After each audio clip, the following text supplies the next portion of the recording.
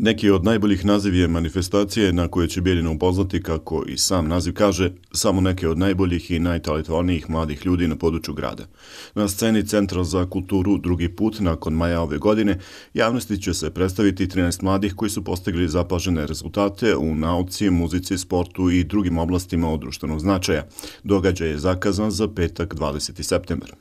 Ovo je jedan od načina i da predstavimo e, dokument omladska politika grada Bijeljina, e, gdje ima oblast izvrsnost mladih i naravno da predstavimo naše mlade.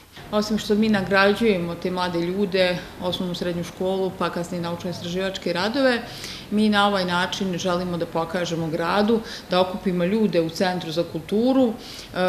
Znači, mi bavimo se time da to bude e, promocija zaista e, u pravom duhu, e, gde želimo da pokažemo narodu da zaista postoje takva djeca, koja imaju neke specifičnosti.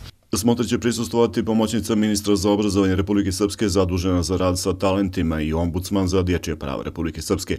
Cilj je naći mehanizme da se ovi mladi motivišu za ostanak u Bijeljini i Srpskoj, ali im i dati priliku da aktivno učestvuju u razvoju društva.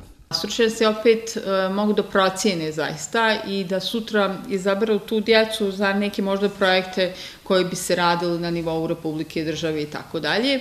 Tako da ćemo ovaj put imati e, prisutstvo znači, e, predstavnice Ministarstva porodice omladne i sporta, koja, što kaže, zaista je u mnogim projektima i da sutra može pomoći toj djeci da dalje nastave svoj angažman. Početak svojevrsne smotre rada i znanja mladih ljudi, neki od najboljih, zakazan je za 19 časova i 30 minuta. Gost programa je Dušan Sekulić, jedan od bilinskih talenta koji je već ostvario svoje snove u oblasti koje se posvetio, jer ga mediji već predstavljaju kao virtuoza na harmonici.